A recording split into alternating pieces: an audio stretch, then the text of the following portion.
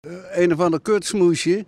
Ja, ik zeg het, want zo is het gewoon. Breda nu. Je weet het meteen. Een belofte van de coalitie van de gemeente Breda. 6000 nieuwe woningen in vier jaar tijd. Een ambitieuze doelstelling volgens velen. Want is er wel ruimte in Breda voor deze woningen? En zullen deze woningen gebruikt worden voor de juiste doelgroepen? Nou ja, het is hard nodig. En eh, ik zie dat ze in de Belkrum al plannen hebben. Dus misschien belofte maakt schuld. Als je Breda die rondweg hebt, dan staat er toch ook iets van een of andere oliemaatschappij. Dat kan wel, dat kunnen ze wel neerzetten. Waarvoor geen eh, woningen?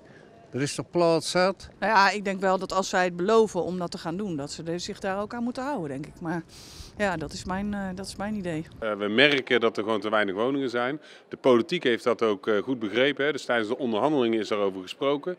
Niet alleen door de coalitiepartijen, maar ook met de inmiddels oppositiepartijen die daarbij aanschoven. En eigenlijk is iedereen het er in de, de politiek al over eens dat er gewoon veel meer woningen gebouwd moeten worden.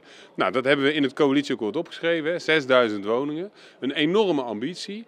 Uh, maar het zijn niet allemaal 6000 dezelfde woningen. Hè. Dus het zijn 1800 middeldure woningen, het zijn 1200 sociale woningen en 3000 vrije sector. Volgens ons sluit dat aan zeg maar, bij de, de behoefte in de stad, maar vooral bij de ambitie die we hebben. Dus, dus daar komt dat getal vandaan. Wat denkt u, voor wie zijn deze woningen het meeste nodig, denkt u? Ja, als ik eerlijk ben, voor de sociale woningbouw.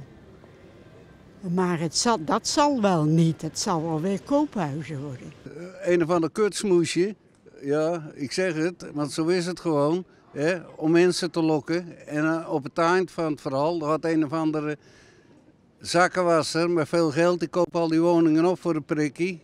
En die verkoopt ze aan allerlei juppen. Ja, dat, zie, dat zie je in Amsterdam, in Den Haag, Rotterdam.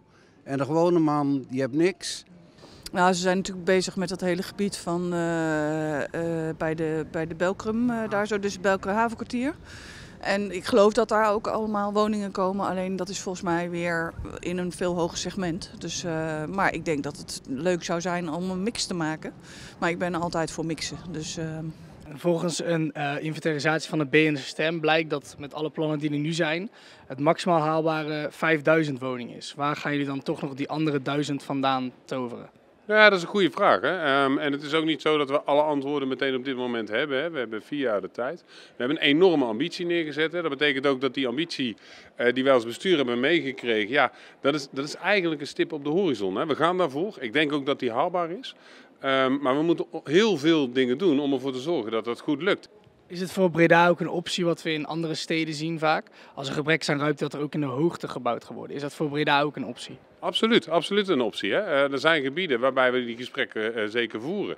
Als je kijkt naar de binnenstad, als je kijkt naar het havenkwartier, uh, dan kan ik me heel goed voorstellen, collega-wethouder Paul de Beer is daar natuurlijk ook mee bezig, hè, vanuit de grootstedelijke ontwikkeling, heel goed voorstellen dat dat de plekken zijn waar je de hoogte op gaat zoeken. Waar je gaat kijken hoe mensen in een grootstedelijke omgeving gefaciliteerd kunnen worden om te wonen, te werken, te leven en plezier te hebben in deze fantastische stad. Ja, ik, uh, ik, ben verantwoordelijk samen met mijn collega's maar, voor de doelen die we gesteld hebben in het coalitieakkoord. En, en ja, daar zijn wij op afrekenbaar. Hè. Dat, dat, is een beetje de essentie van de politiek. Um, er zit wel een kleine nuance in. Dat is namelijk dat wij niet alles in de hand hebben. Hè. Op het moment dat de wereldeconomie daalt, op het moment dat uh, de rente zeg maar, weer gaat stijgen, op het moment dat de bouwkosten zeg maar, uh, nog verder omhoog gaan. Ja, wij als gemeente bouwen geen enkele woning. Hè. Wij doen ons best, we hebben een deel in dat proces.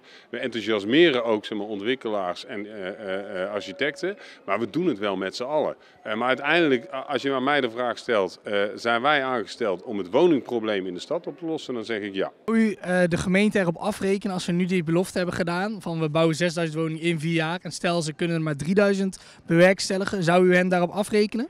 Ja, natuurlijk. Wat is het? Uh, van start. PvdA, hè? Ja, coalitie.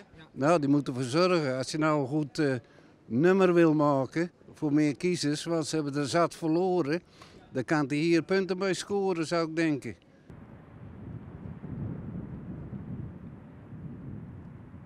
Breda nu. Je weet het meteen.